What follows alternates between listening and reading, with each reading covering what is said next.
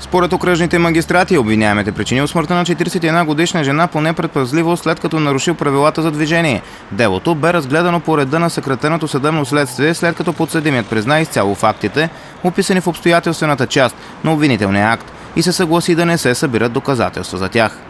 На 29 септември миналата година 43-годишната обвинен блъснал с товарния с автомобил преминаващата по пешеходна пътека жена, която в последствие починала от травмите си.